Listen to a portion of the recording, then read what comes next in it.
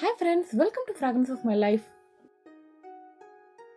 இன்னைக்கு நம்ம கிச்சன்லேருந்து உங்களுக்காக ரத்தத்தை தூய்மைப்படுத்தி பொன் போல மேனியை கொடுத்து கண்களுக்கு ஒளியை தரும் பொன்னாங்கண்ணி பொரியல். ரெசிபிக்குள்ளே போகிறதுக்கு முன்னாடி நம்ம சேனலை நீங்கள் சப்ஸ்கிரைப் பண்ணாமல் இருந்தீங்கன்னா சப்ஸ்கிரைப் பண்ணிடுங்க.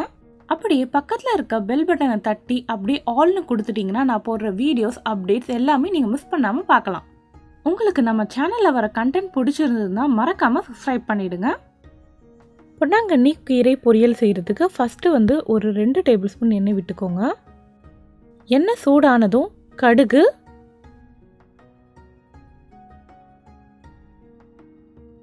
கடுகு வெடிச்சதும் ஒரு கால் டீஸ்பூன் ஜீரகம் சேர்த்துக்கலாம். ஜீரகம் பொரியட்டும்.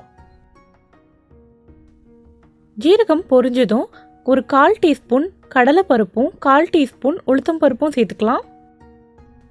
ஒரு முப்பது செகண்ட் இதை வந்து எண்ணெயில் வந்து வதக்கிக்கோங்க. இதில் ஒரு ரெண்டு பச்சை மிளகா ஒரு வரமிளகா ஒரு மூணு டு நாலு பூண்டு பல் இடித்தது சேர்த்துக்கோங்க. இது எல்லாம் சேர்த்ததுக்கப்புறமா இன்னும் ஒரு முப்பது செகண்ட்ஸ் வந்து வதக்கிக்கலாம். ஒரு சின்ன சைஸு வெங்காயம் வந்து கட் பண்ணி சேர்த்துக்கலாம். இந்த பெரிய வெங்காயம் இல்லைன்னா நீங்கள் வந்து சின்ன வெங்காயம் இருக்கு இல்லையா அது சேர்த்திங்கன்னா இன்னும் கூடுதல் சுவையாக இருக்கும். ஒரு பத்து பதினஞ்சு சின்ன வெங்காயமும் சேர்த்துக்கலாம். வேணும்னா நீங்கள் பெரிய வெங்காயம் சேர்க்காம சின்ன வெங்காயம் சேர்த்துக்கலாம். வெங்காயத்தை ஒரு ரெண்டு நிமிஷம் போல் வதக்கிக்கோங்க.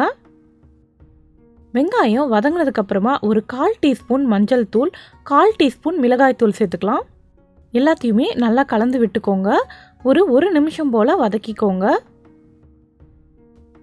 இதெல்லாம் நல்லா வதங்கினதுக்கப்புறமா நல்லா கழுவி வச்சுருக்க கீரையை வந்து சேர்த்துக்கலாம். கீரைனாலே வந்து உடம்புக்கு வந்து ரொம்ப நல்லது. டெய்லி ஒரு கீரை எடுத்துக்கணும் அப்படின்னு சொல்லுவாங்க. இந்த கீரை ஸ்பெஷலி வந்து கண்ணுக்கு வந்து ரொம்பவே நல்லது. இதுலேயே இந்த பேர்லேயே இருக்க பாருங்கள் பொன்னாங்கண்ணி. எல்லாத்தையுமே நல்லா கலந்து விட்டுருங்க. இந்த கீரையில் இருக்க தண்ணியே வந்து போதும். இந்த கீரை வந்து வேகிறதுக்கு. பொன்னாங்கண்ணிலேயே பார்த்தீங்கன்னா இன்னொன்று நாட்டு பொன்னாங்கண்ணின்னு கிடைக்கும். அதுவும் வந்து இதே மாதிரி செஞ்சு சாப்பிட்லாம். நீங்கள் எந்த கீரையாக இருந்தாலும் இந்த மாதிரி வந்து செஞ்சு சாப்பிட்லாம். நம்ம பாருங்கள் சட்டி நிறைய வந்து கீரை போட்டோம். கொஞ்சம் கொஞ்சமாக நல்லா சுருங்கிட்டே வருது. இப்போ நம்ம இந்த கீரைக்கு தேவையான அளவு உப்பு சேர்த்துக்கலாம். கீரைக்கு எப்போவுமே வந்து கம்மியாக தாங்க உப்பு சேர்க்கணும். உப்பு சேர்த்ததுக்கப்புறமா கீரை வந்து இன்னும் கொஞ்சம் தண்ணி விட ஆரம்பிக்கும். தொடர்ந்து இருபத்தி ஏழு நாள் வந்து இந்த கீரையை வந்து சாப்பிட்டோம்னா பகல்லையே நிலா தெரியும்னு பெரியவங்க சொல்லுவாங்க. நான் சொன்ன மாதிரியே பாருங்கள் தண்ணி விட ஆரம்பிச்சிருச்சு.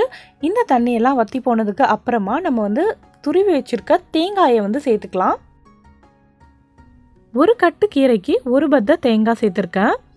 தேங்காய் சேர்த்ததும் நம்ம வந்து ஸ்டவ்வை வந்து ஆஃப் பண்ணிடலாம். எதுக்கு நம்ம இந்த தேங்காய் சேர்க்குறோம் அப்படின்னா கீரையில் இருக்க கசப்பு தன்மை தெரியாமல் இருக்கிறதுக்காக தான் வந்து நம்ம தேங்காய் சேர்க்குறோம் எல்லா கீரைகள்லையும். இந்த கீரையிலேயே வந்து பார்த்தீங்கன்னா நம்ம வந்து கீரை கூட்டெல்லாம் வந்து ரெசிபி போட்டிருக்கோம் இல்லையா? அந்த மாதிரி கூட வந்து நீங்கள் செஞ்சுக்கலாம். இந்த ரெசிபி பிடிச்சிருந்ததுன்னா லைக் பண்ணுங்கள் உங்கள் வீட்டில் செஞ்சு பார்த்துட்டு எப்படி இருக்குன்னு சொல்லுங்கள் ஃப்ரெண்ட்ஸ் கூடலாம் ஷேர் பண்ணிவிடுங்க தேங்க்யூ